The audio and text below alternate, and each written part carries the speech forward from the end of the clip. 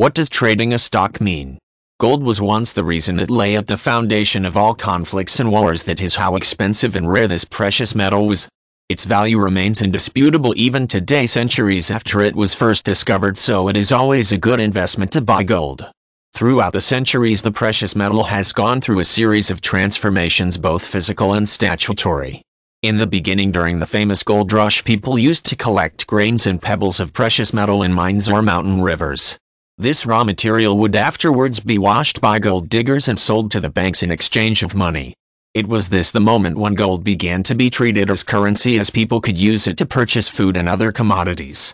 With the passing of the years the political leaders of various countries have begun to adopt a coin-shaped form for any products that were made out of gold. Thus people no longer searched for grains and pebbles of precious metal this job was performed only by professional miners who used to work for the state companies. The material that used to be extracted from the mines would afterwards be used to form new coins that were exchanged at markets on products. Except for a few small nations of people who use coins as neck and hands accessories gold was not used to create jewelry until recently. Ever since the first pair of earrings has been created using nothing but precious metal designers have begun to give a new purpose to the metal.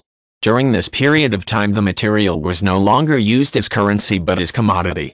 Nowadays the precious metal is the only product on the market that can serve as commodity and currency at the same time.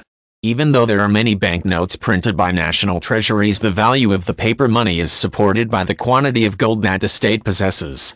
Given these circumstances we may say that gold is always stable as there are no market fluctuations for this product. The price remains the same in times of economic flourishing as well as economic recession. If you want to stay safe during all periods you will buy gold bars or coins and deposit them in banks.